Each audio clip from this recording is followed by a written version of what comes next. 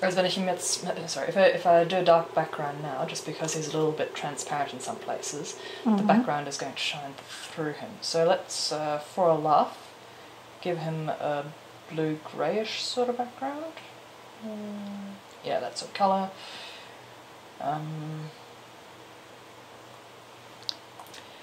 make the brush nice and big, and then go like this.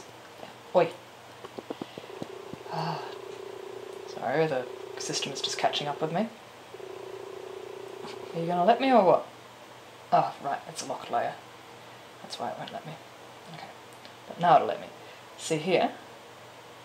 You can sort of see the. Sh- Wow. You can see it shining through his ear because in some places he's not very. Uh, Ah.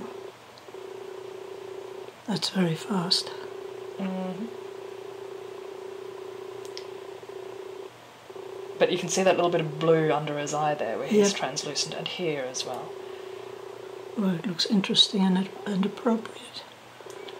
Well, yes, and of course, the because the uh, surrounding color of something will uh, will reflect onto your subject. So yes, in some ways that works. But uh, yeah, so that's what that.